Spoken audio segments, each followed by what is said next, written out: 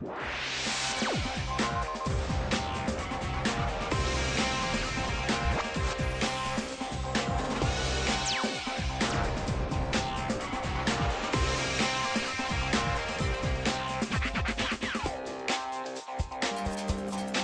pelota de béisbol no solo es el objeto con el cual se juega este deporte, se ha convertido también en un artículo conmemorativo de colección o de culto, algo que se guarda como un tesoro si se adquiere un significado especial.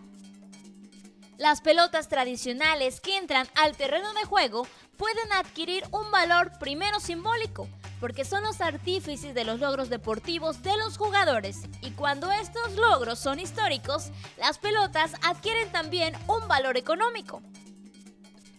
Este es el caso de la pelota con la cual Baby Ruth conectó el cuadrangular 702 de su carrera y después la firmó.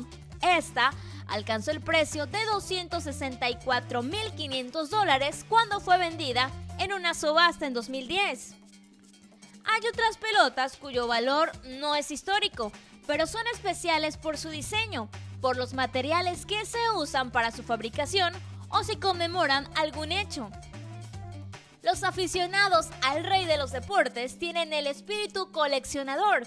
¿Y usted tiene alguna pelota de béisbol que guarda por alguna razón? ¿Logró la firma de alguna estrella del deporte, como en esta que vemos con la firma de Beto Ávila? ¿O conmemora algún hecho histórico? ¿Es divertida? ¿Tiene algún diseño raro?